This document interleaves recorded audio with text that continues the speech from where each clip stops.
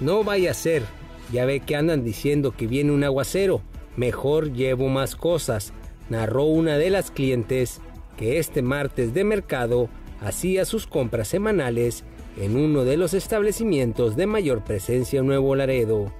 Como Doña Lulú, varias personas acudieron a las tiendas de conveniencia en busca de surtir la despensa, solo que en esta ocasión iban un tanto asustados y presionados por lo que pudiera pasar a partir de este miércoles con los efectos del fenómeno meteorológico Alberto. Botellas de agua, papel sanitario, latería como atunes y elotes, así como carnes, pollo y fruta, llevaba doña Lulú de 75 años. Llevo más de lo normal, es mucho, pero no le hace. Mejor estar preparada, mencionó. Y es que en redes sociales no oficiales han abundado notas falsas sobre el supuesto impacto de un fenómeno meteorológico de grandes dimensiones, lo que ha sido desmentido tratando de calmar las tensiones en algunas personas en esta ciudad. Por otra parte, y en base a información difundida este martes por Protección Civil, hasta el momento la formación del ciclón tropical no representa un peligro para Nuevo Laredo. Sin embargo, señala que sí se esperan fuertes lluvias en la ciudad a partir del miércoles.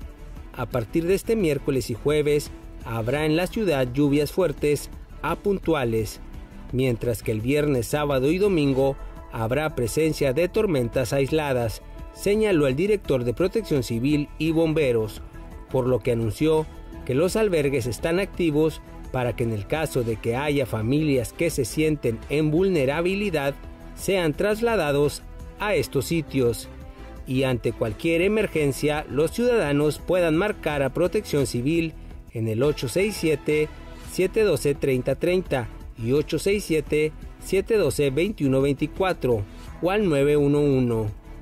Adultos mayores los más vulnerables.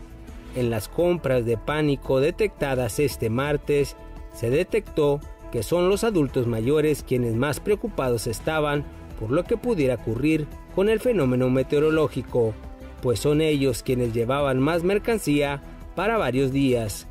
Y es que, como el caso de Doña Lulú, ella vive sola, no tiene hijos y es ella quien tiene que salir a realizar las compras.